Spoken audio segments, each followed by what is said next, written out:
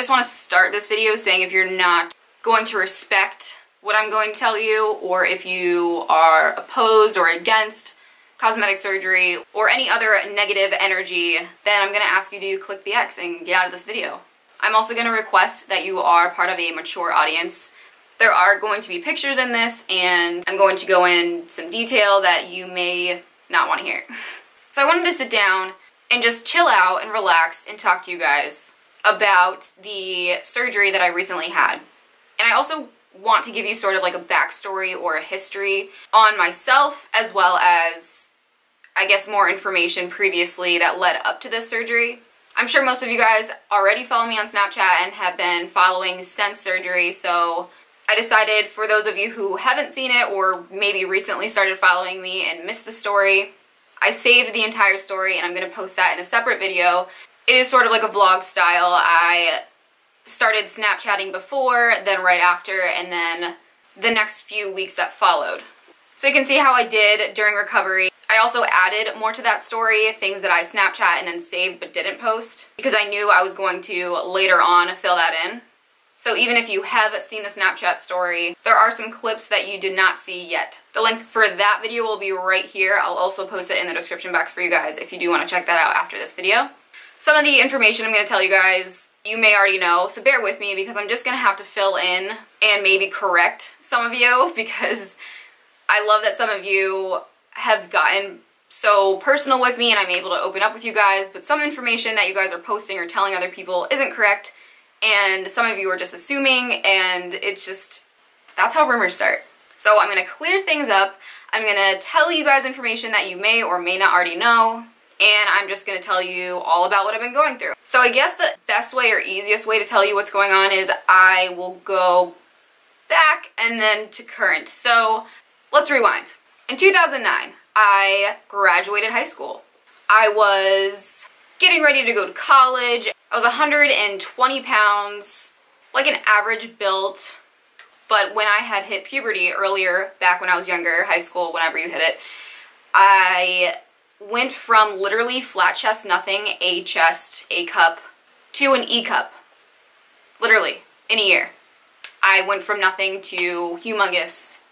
And I don't really know why, I don't really know where it came from. Boobs don't really run in my family. I don't know, I was just one of the unlucky ones, I guess. God just, I guess, decided that B is for boobies. And I hated them. I was so self-conscious. They were not cute at all. Boobs that grow that fast, naturally, like, they don't look good.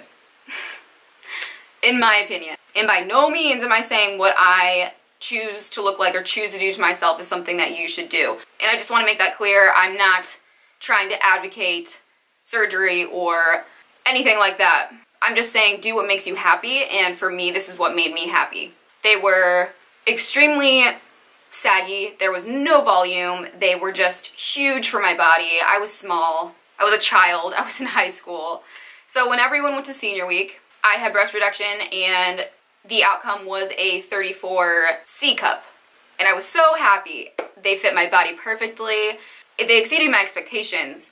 And I was extremely confident. I was comfortable in my own skin. When I was an E cup, a natural E cup, I was wearing so many layers. I would wear a regular bra, a sports bra, a tank top, maybe another tank top that was cut higher, and then my top. Like I was layering on layering, trying to push them down and keep them in and cover myself up because I was embarrassed and self-conscious. People made fun of me, they gave me nicknames that were not nice. Even my senior yearbook, I no longer have that because people destroyed it, making fun of the way I looked in it. They drew pictures of boobs because that's, I guess, how some of the people there knew me. People suck. so yeah, I don't even have my senior yearbook anymore because of that. Tits McGee, whatever the fuck you guys called me. So I had the surgery, everything was fantastic. I no longer felt the need to cover up, I just felt beautiful, I felt great.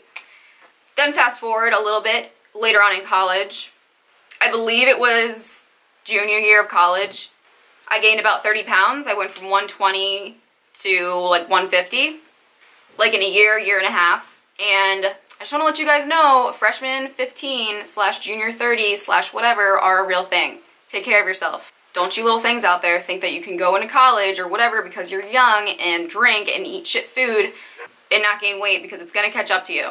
Trust me. You have to take care of your body.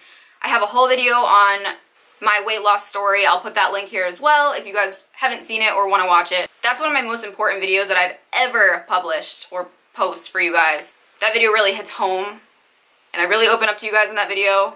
I laughed, I cried, there were so many feels happening. This is another one of those videos, although I hope I don't cry. but back to this video. I then fast forward, came back home after graduation and decided I needed to do something. I needed to make a change. So I lost 40 pounds. And while doing that, I was able to lose fat, gain muscle, tone, but I couldn't really change as much as I wanted to with my chest size. So let's just make sure you guys are following. I went from high school to an E. I had breast reduction and went to a C. I went into college, gained all the weight, stretched out those boobies, and went to a 34 triple D slash double D, it depends where I went. Then lost all the weight, and then went to a 32 double D. Got the whole alphabet going on here.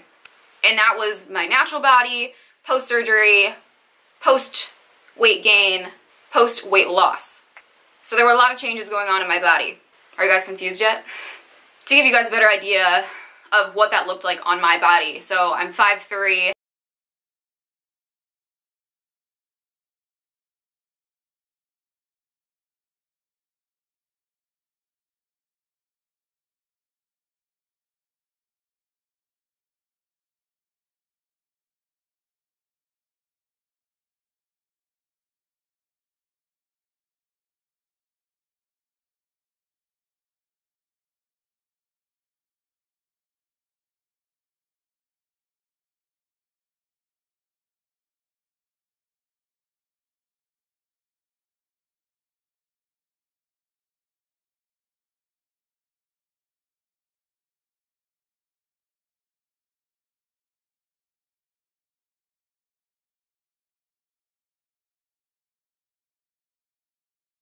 So I lost the weight, I was extremely happy with my body, but I was still semi-self-conscious about my chest because when I lost the weight, I lost the volume. And I also stretched the skin, I had stretch marks all over the top, I lost the elasticity in my skin.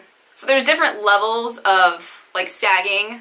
And mine was very minimal, but it did really affect me and I couldn't do anything about it myself as far as changing what I was eating or different workouts it was just a loss of the tight skin and elasticity and volume pretty quickly in my cup size. So 32 double D, but they were no longer as high or as round or as full as I had wanted them. I would tape them pretty much daily. I didn't like wearing bras because bras are uncomfortable. I don't really like wearing bras to be honest. I'd rather be braless. But I also love wearing things that are plunge or backless, things that are more showy. I would tape them like all the time.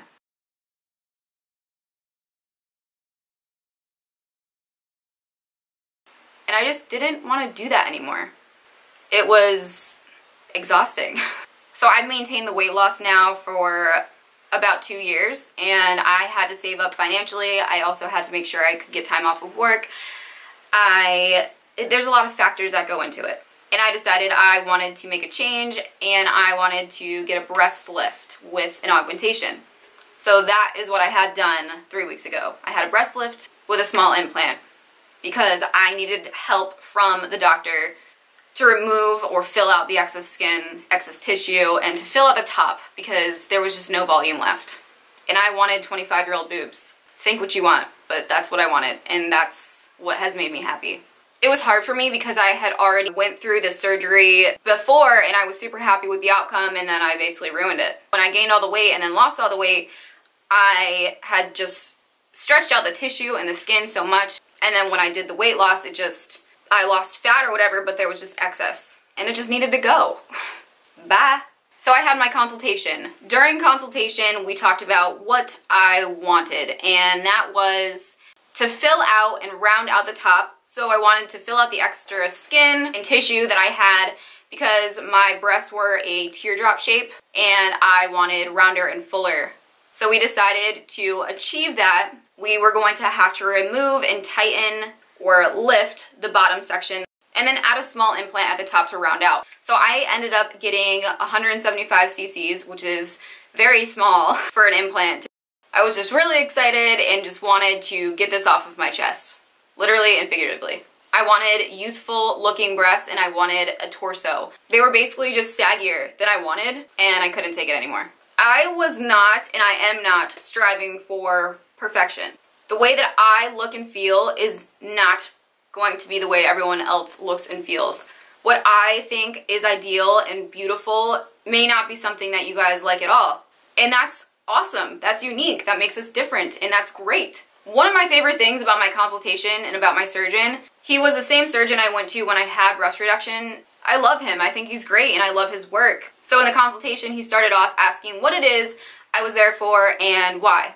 And originally I had told him I was there for a breast lift. So we discussed my options and what it was that I felt I wanted and needed and what would make me happy. So after showing him pictures and discussing, he said things, for example, you feel this way and you want this. It was never, I feel this way, I think you should do blah, blah, blah, blah. He made it about me, which that's what this whole thing is about. It's about me. And that made me feel great. It made me feel he was listening to what I was saying. I don't know, it just really put me at ease and made me understand that something that he may see is not something that I see and vice versa.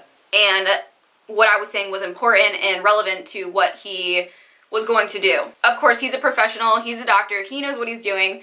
So any suggestions that he would have obviously are for the better and you should consider that. I just feel the way that he worded things made me feel very comfortable. The augmentation part actually came in to play when we were doing the consultation and he was looking and measuring and I hope I'm describing this for you guys to understand. Post weight loss, post baby type boobs.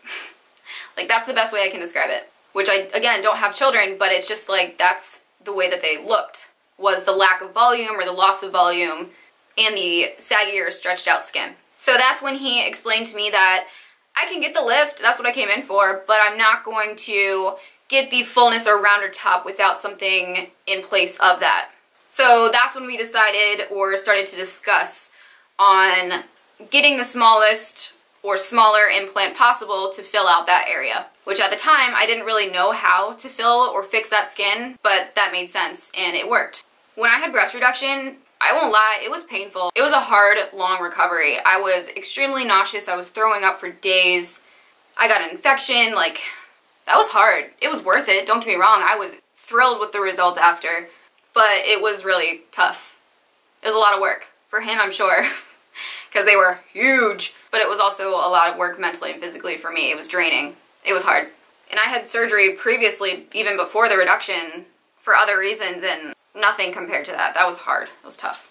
This was a breeze. Let me just tell you, fam.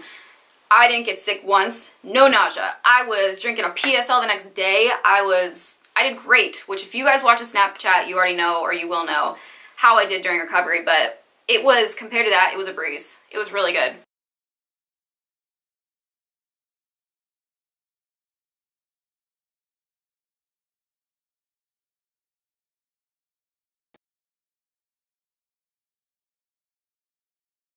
I'm post surgery about three weeks now, so I do have some bruising still. My scars are obviously fresh. They're like red, bright pink still. So I still have a long way to go. I'm sure the implants are still settling. There's still a long way to go. I'm still sore. If I move a certain way, I still can't lift things. I believe I can start doing that after about six weeks. So when I go to the gym, I mainly focus on legs or I do like the bike. I'm not running because you can't have the bouncing going on yet. So I still got some time to do that. I'm like SpongeBob at the gym. There are a few important things that I hope you take from this video. And one major thing is you should never feel guilty for the way that you feel. I made this video in hopes that anyone out there that feels the way that I feel or felt will be helpful to you and that you'll feel a sense of relief knowing that you're not alone. And it's okay to feel the way that you feel, but it's also okay to make a change and to do something about it to feel better. I feel like there's just like this stigma about cosmetic surgery or plastic surgery or whatever you choose to call it, and I don't know why. I'm, again, not saying, hey, go out and get a boob job, go out and get this done, go out and get that done. I'm just saying, if there's something that means that much to you, where you're willing to go under the knife and alter your body, it obviously is important to you. And the way that Becky feels about your decision of what you do with your body doesn't matter. There's always going to be people who disagree with you, people who don't understand you, people who have not gone through what you've gone through and won't, and that's okay. People get uncomfortable with situations that they don't understand or have not gone through. If they feel they need to talk negative about what you choose to do to make yourself happier, obviously something's wrong with them. And they have more issues than you do. At least you're open and honest and doing something to make a change that's better for yourself. So, shout out to Becky.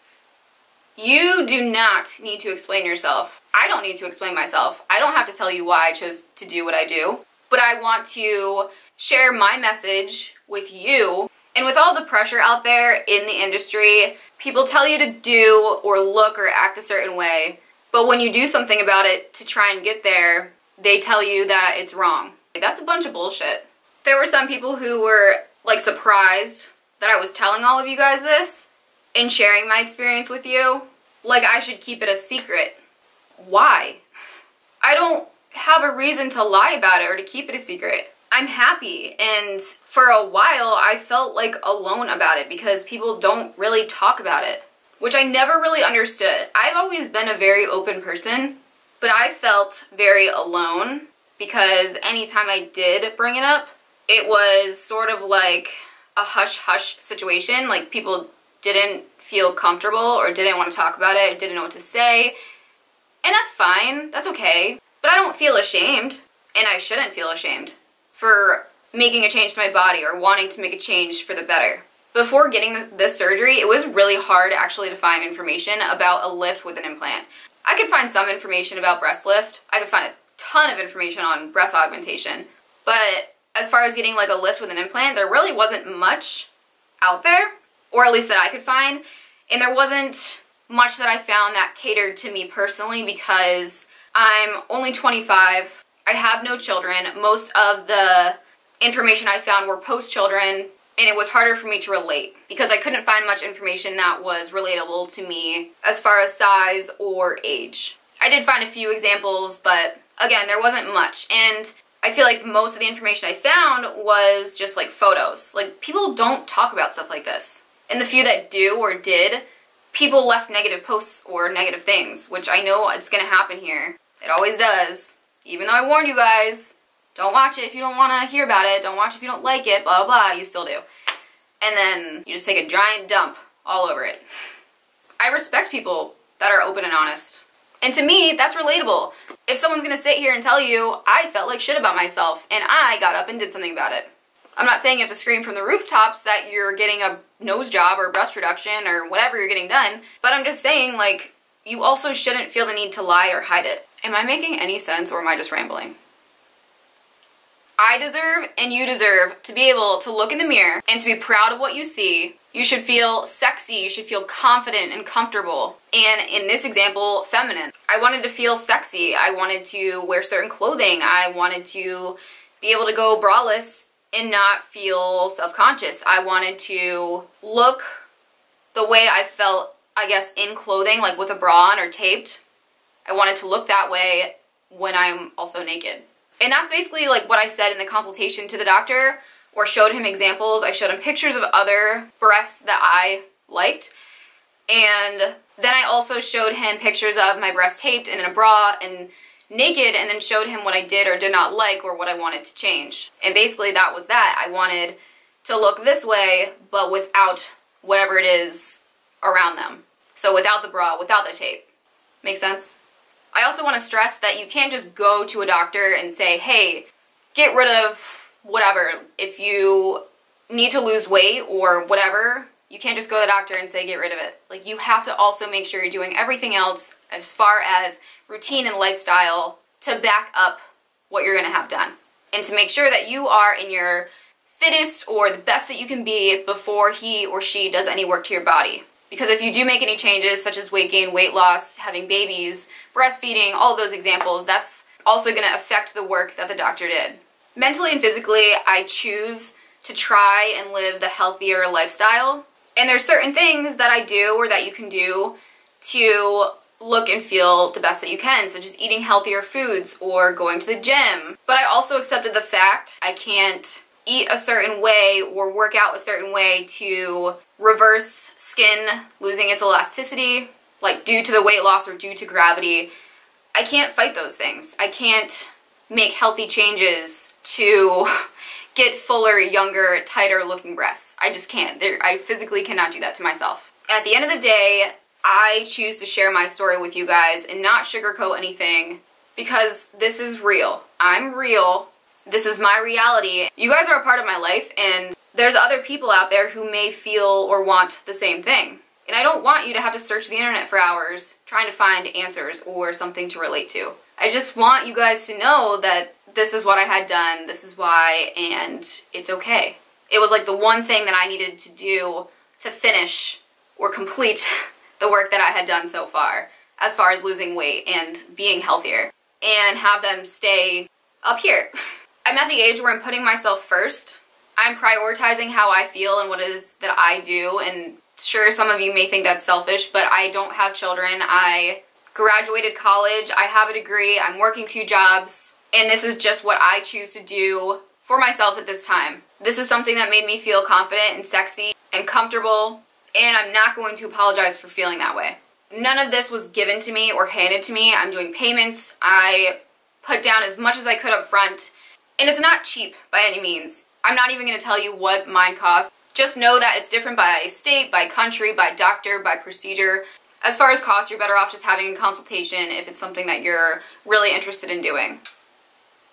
So yeah, the long anticipation and curiosity and assumptions and everything are now out in the open. I just love chilling with you guys. Like, you know, like PJs, sweats, whatever, just hair up in a mess, coffee. Want some? Be sure to watch that Snapchat style vlog that I did. I also do post other information in there. I'm pretty sure I'll end up doing a third video in this playlist or series about even more random things that I think of later today or in the future. That might be helpful. So yeah, just comment any questions that you have and I'll post those in an upcoming video. But be sure to give this video a thumbs up for any of you guys who found this helpful, that enjoyed this video, that just want to give me a thumbs up. and I want to thank you guys so much for obviously watching this video, but for taking the time to leave me comments and writing emails or Snapchats or whatever you had sent me in the last couple weeks, hoping that surgery went well, hoping that I was recovering and everything was good. I really appreciate it, and it really helped me uh, while recovering and kept me at ease, really. So thank you from the bottom of my heart, seriously. And I also just want to generically say thank you for those of you who do respect mine or others' decision to do something like this because it is really like a life-changing experience and it is important. And even though you may not understand it fully or not go through it, just respecting and listening or supporting someone that is is so helpful and so important and really just makes a huge difference on the situation. So thank you. I hope you guys have a great rest of your day and I will see you in the next video.